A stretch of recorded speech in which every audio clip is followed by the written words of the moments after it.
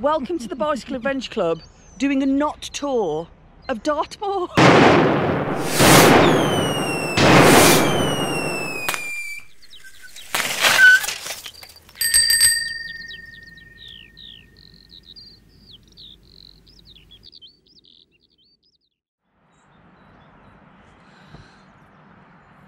Welcome to another Bicycle Adventure Club video. I'm currently in Croyde Bay and it's the last night of our trip. So I think what you're about to see is the, the bits that I've filmed throughout the trip, but it was, it was an interesting trip. We intended to tour 140, 150 miles around Dartmoor. And on the first day we did the Tarka Trail Yep. and I broke a spoke on a steep descent, which in itself wasn't massive, although uh, to me it worried me, obviously because of my weight and the weight. I wasn't carrying a massive amount of weight, but but it's always a worry when you break a spoke. And in the past, when I've broken spokes, other spokes have gone, and it's been a cascade of failure. Um, however, Jane had a spare fibre spoke and we fixed it up and we got to the bike shop in Okehampton and he was a very nice man and he fixed it all up um, but I think we reflected at that point um, on the hills that we were Yeah. starting to do Yeah.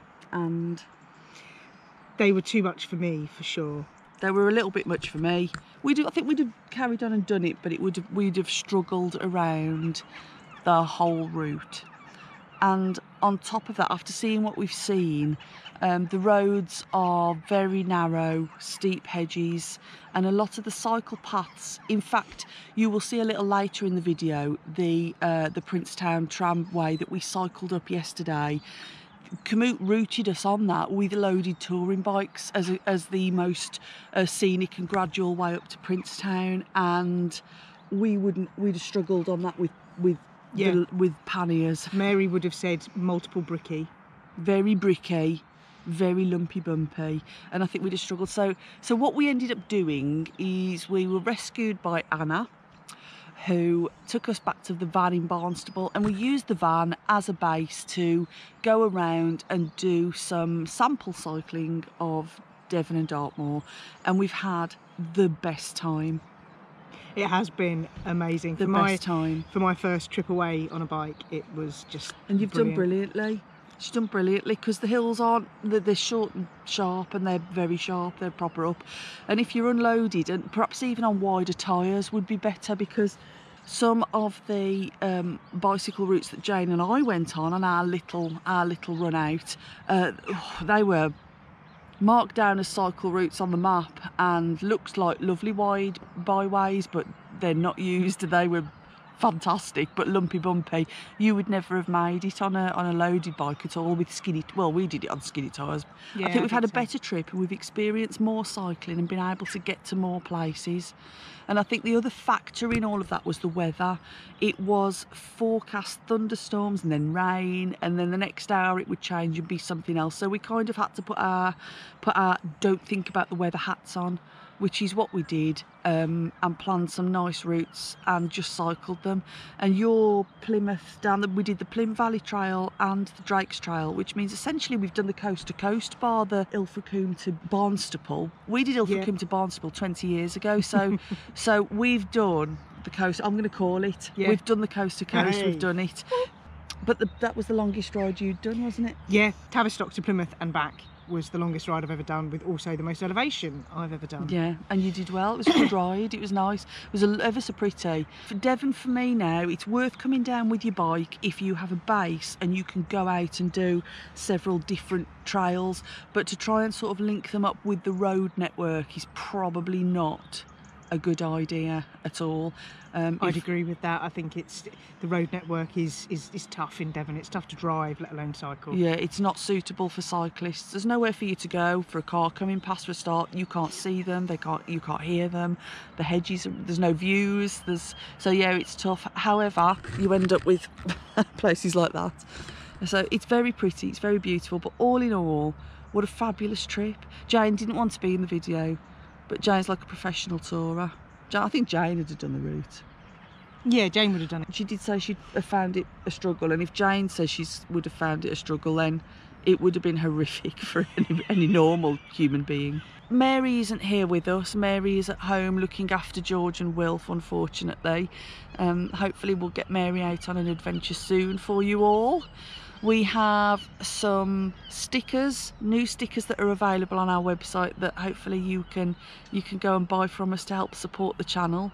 Um, whilst on this trip we hit a thousand subscribers, which um, we're just over the moon with we can't we can't believe it. We just thank you to everybody that has watched and laughed along with us and subscribed and helped us. Um, it really means a lot. We're, we're over the moon. We also still have some t-shirts available. If anybody would like to buy a nice bicycle adventure club t-shirt and, uh, and join in the gang um, please keep posting your adventures and videos on our on our website. We look forward to uh, to seeing those, and we look, we do love to interact with you and talk to you. Thank you for watching. I hope you enjoy this video. I don't know what I've filmed. It might seem a little disjointed. It might be incredible, but enjoy it either way.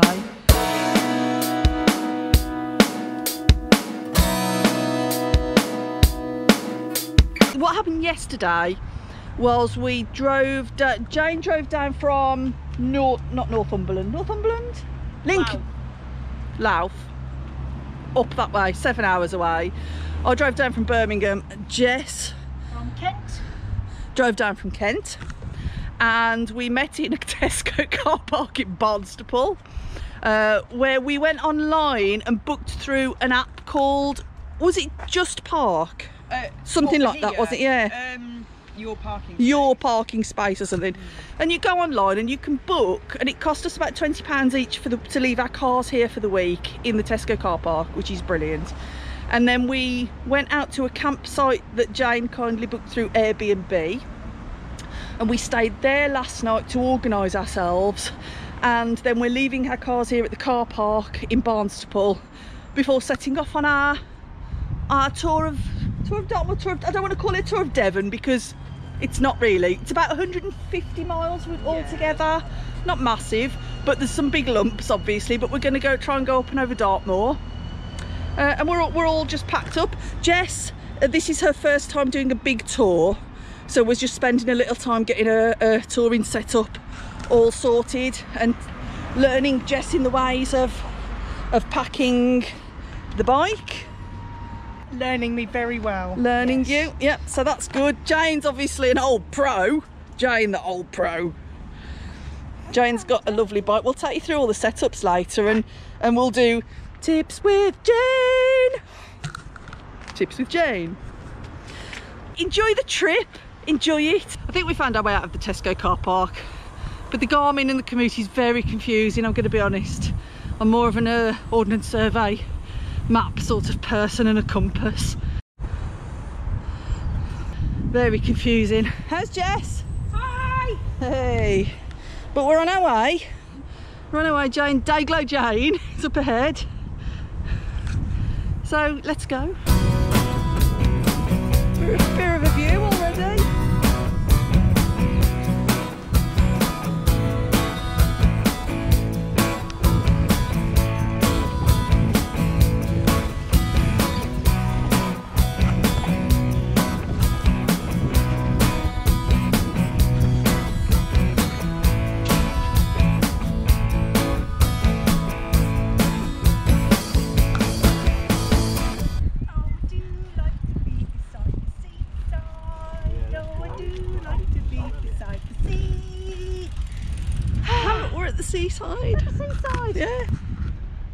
see the sea, didn't we? We had to come and see the sea.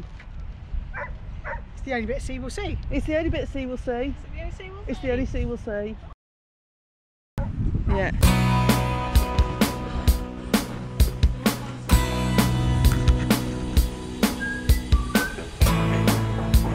Oh, cracking again. Clapping, clapping slabs.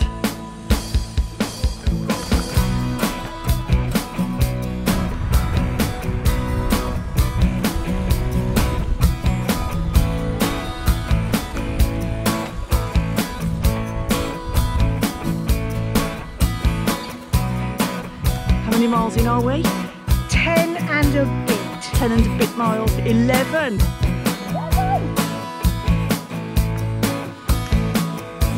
Trying to catch you on video.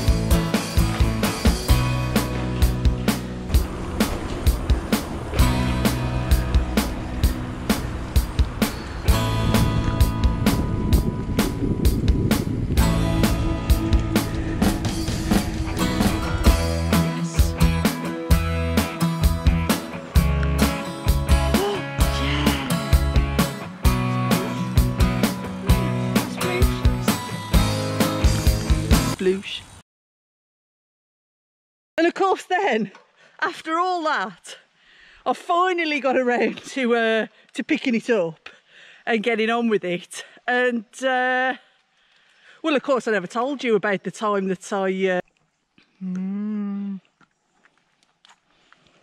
No. cycle. Jane won't do tips with Jane. Jane every so often will stop and go, oh, and by the way, what I like to do is I like to take these hand cheeses with me on my bicycle tours because they're convenient, individually wrapped and provide the required amount of energy for my cycle tour endeavours. And then when I get the camera out and go, Jane, Jane, tell that all to the camera, she'll go, oh, I'm not doing it, I'm not doing it. So we can't have tips with Jane. So we'll have to be Jane's tips via Sarah. I might do some of them later. Do some later, Jane, because they're good tips. Well, these are quite handy. Oh, look at uh, tips with Jane.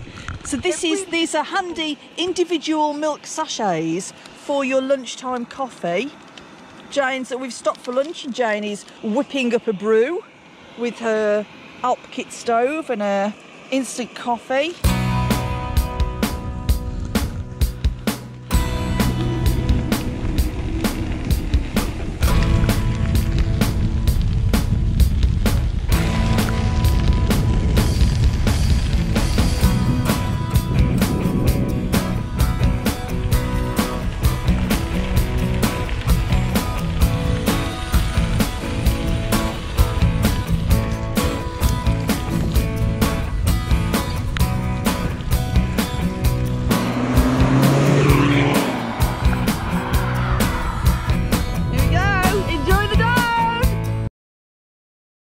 It's all gone a bit Pete Pete Tong. Is that the word? That is that is the word. That is the word.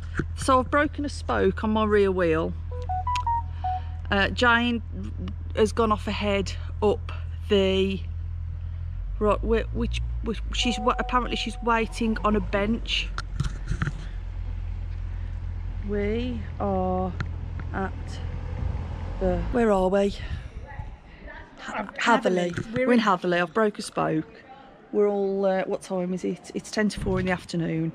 Okehampton is ten miles away, which is where we were heading for. But Jane has got this fibre fix spoke, so I'm just going to thread this in and see if it will see if it will get me to to Okehampton. Hello, Poppy.